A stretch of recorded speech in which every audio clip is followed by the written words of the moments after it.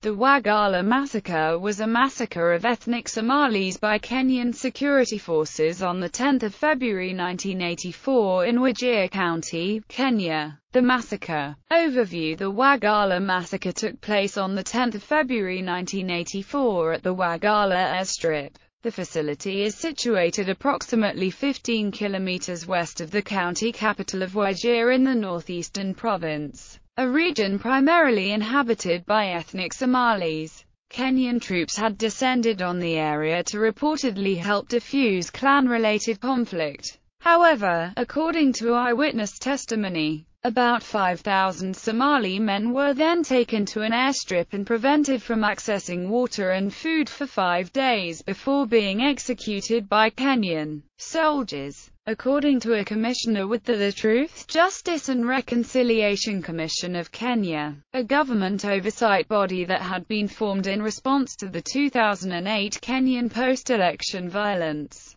The Wagalla massacre represents the worst human rights violation in Kenya's history. Death toll The exact number of people killed in the massacre is unknown. However, eyewitnesses place the figure at around 5,000 deaths. Aftermath for years the Kenyan government denied that a massacre had taken place and insisted that only 57 people were killed in a security operation to disarm the area's residents. It was not until October 2000 that the government publicly acknowledged wrongdoing on the part of its security forces. In 2010, Bethuel Kiplagat stepped aside as chairman of the Truth, Justice, and Reconciliation Commission because of his alleged involvement in authorizing the action that led to the massacre. Reports of the number of men from the Somali Degodia subclan, in particular, that were detained by security forces and brought to the airstrip range from 381 to upward of 10,000. In April 2012, Kiplagat was reinstated as TJRC chairman after the Justice Minister Eugene Wamalwa brokered a truce between him and the other commissioners.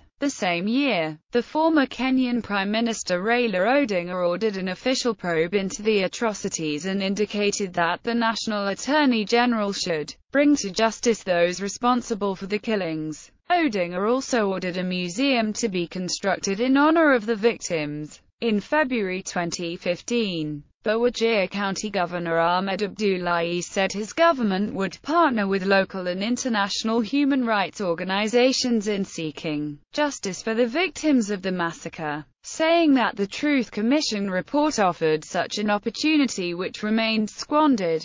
Those mentioned by the TJRC report and witnesses must be prosecuted. The people who inflicted the pain to our people remain unpunished and are still with us, Abdullahi said. Film. The film, documentary, Scarred, The Anatomy of a Massacre, directed by Judy Kibinge, is the first independent visual attempt to chronicle the history of the massacre as experienced by both the victims and survivors, some of whom were government officials themselves. The documentary was launched at the National Museum in Nairobi in February 2015.